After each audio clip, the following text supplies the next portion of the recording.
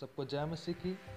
और आज की वीडियो में मैं आपको परमेश्वर के सात नामों के बारे में बताऊँगा और उनके साथ आपको बाइबल वचन भी बताऊँगा और आप उन बाइबल वचनों को पढ़ सकते हैं। चलिए इस वीडियो को शुरू करते हैं। और जब हम उत्पत्ति 22 अध्याय का वचन तेरह को पढ़ते हैं तो उसमें इस प्रकार से लिखा हुआ है, तब अब्राहम ने आँखें उठाई और क्या देखा कि उसके पीछे एक मेढ़ा अपने सिंगों से एक झाड़ी में फंसा हुआ है। अंत अब्राहम ने जाके उस मेढ़े को लिया और अपने पुत्र के स्थान पर उसे होम बलि करके चढ़ाया। अब हम परमेश्वर के दूसरे नाम के बारे में पढ़ेंगे और आपको इसके बारे में पता चलेगा। निर्गमन की पुस्तक 15 अध्याय का वचन 26 में।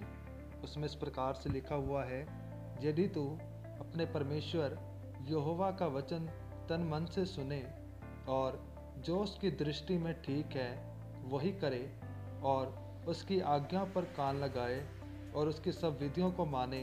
तो जितने रोग मैंने मिस्रियों पर भेजे हैं, उनमें से एक भी तुझ पर ना भेजूँगा, क्योंकि मैं तुम्हारा चंगा करने वाला यहोवा हूँ। अब हम परमेश्वर पिता के तीसरे नाम के बारे में पढ़ेंगे और आपको इसके बारे में पता चलेगा। ये हेजकल की पुस्तक 48 अध्याय का वचन 35 में उसमें इस प्रकार से लिखा हुआ है, नगर के चारों ओर का घेरा अठारह हज़ार बाँस का हो और उस दिन से आगे को नगर का नाम यहोवा शामा रहेगा।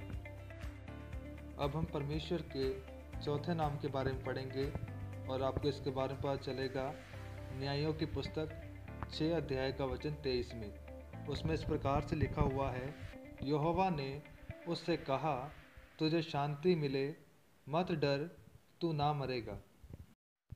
अब हम परमेश्वर पिता के पाँचवें नाम के बारे में पढ़ेंगे और आपको इसके बारे में पता चलेगा, निर्गमन की पुस्तक सत्रह अध्याय का वचन आठ से लेकर वचन पंद्रह तक।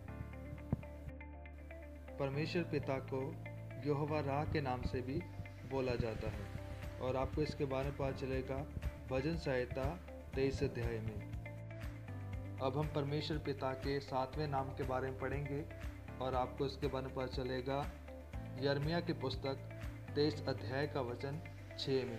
उसमें इस प्रकार से लिखा हुआ है, उसके दिनों में यहूदी लोग बचे रहेंगे और इज़राइली लोग निडर बसे रहेंगे।